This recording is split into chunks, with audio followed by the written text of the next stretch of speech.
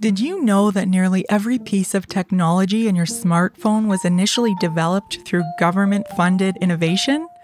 I'd never considered this before listening to this next title, which reframed how I see public versus private investment and innovation. Welcome to Audiobook Reviews in 5. This is Yana, also known as Jana, and in today's episode, I'm reviewing Mission Economy a Moonshot Guide to Changing Capitalism by Mariana Mazzucato and read by Lexie McDougall.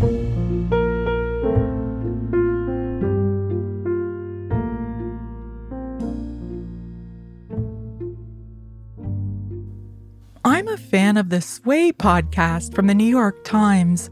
So when I heard host Kara Swisher recently introduce Mariana Mazzucato as the economist that the Pope Bill Gates and AOC turn to these days for advice on how to reimagine a more equitable capitalist society, I was intrigued. I focused intently on their conversation, which sounded like a radical departure from economic norms. I've linked to that interview in my show notes, and I recommend you listen to it to get a sense of Mazzucato's personality and persuasiveness. If you're anything like me, you've spent much of your life hearing about the wonders of privately funded innovation and the slow, bureaucratic, and regulatory nature of the government. We've been led to believe that government hinders rather than helps the speed of innovation.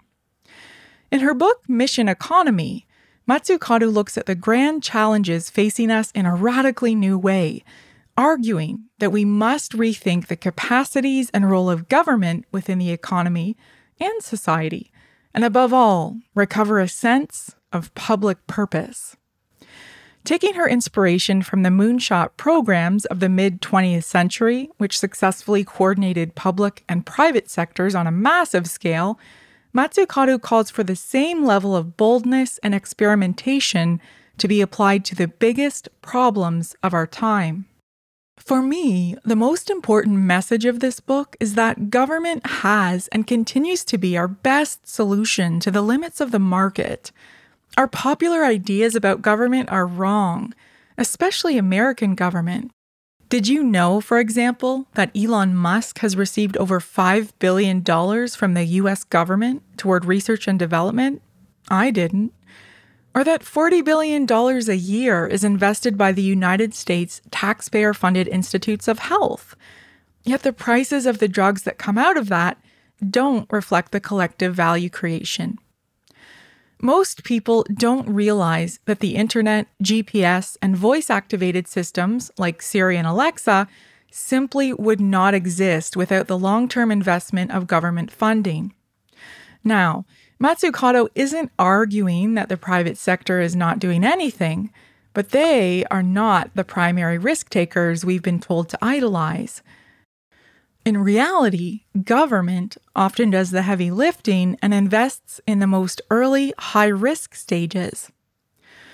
Mazzucato illustrates the immediate relevance of moonshot goals by first explaining the interorganizational government capabilities that led to the moon landing and then she goes into some detail about how we'd take a similar approach to tackle all the social problems of our time. Specifically, she looks at the globally agreed upon UN Sustainable Development Goals, including poverty, hunger, health, and well being, and education. She emphasizes these are not merely technological problems to solve, these are wicked problems in the sense that they require behavioral change, regulatory change, and political change. To solve these problems, people need to change their thinking about the role of government. Mazzucato's acknowledgement of a shift in values from personal consumption toward a collective good are summed up briefly, but there's little discussion of how this shift might actually happen. This seems like the true challenge and she acknowledges this in her interview with Kara Swisher, acknowledging the role that the arts and popular culture have in engaging and inspiring people toward a common mission. I was surprised by this glossing over in the book, but maybe I'm not really the intended audience. As Guardian journalist Tom Kibasi describes it, Mission Economy is styled as a how to guide for policymakers who want to unleash the full potential of the state to solve some of the great challenges of the 21st century. Reframing public perceptions about the role of government is far bigger than policy change, though. In fact, policy change depends on it. Overall, Mission Economy is an academic sounding book, and I was disappointed that Mazzucato's personality, that shines so brightly in her interview with Kara Swisher on Sway, doesn't come through. Lexie McDougall's narration is competent, but I listened to this audiobook on accelerated speed because the writing, well, it's a bit dry. I'm reviewing this book because the ideas are important, but I worry the jargon used here might limit reader or listener engagement. That said, if you do want to better understand public policy and reframing capitalism, Mission Economy is more accessible than some material. At the very least, I encourage you to visit Mariana Mazzucato's website, which I've also linked to in my show notes, and listen to her interviews.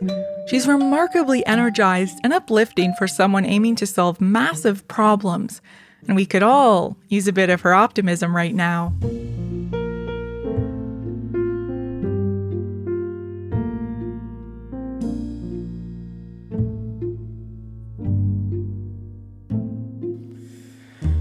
That's all for this episode of Audiobook Reviews in 5. Thanks for listening. If you have not yet done so, please follow us on Facebook and subscribe to Audiobook Reviews in 5 on Anchor, Apple, Spotify, and many others. By subscribing, you help increase the profile of this podcast and chances of other listeners finding it. I look forward to checking in with you all again soon. Please stay safe and be well.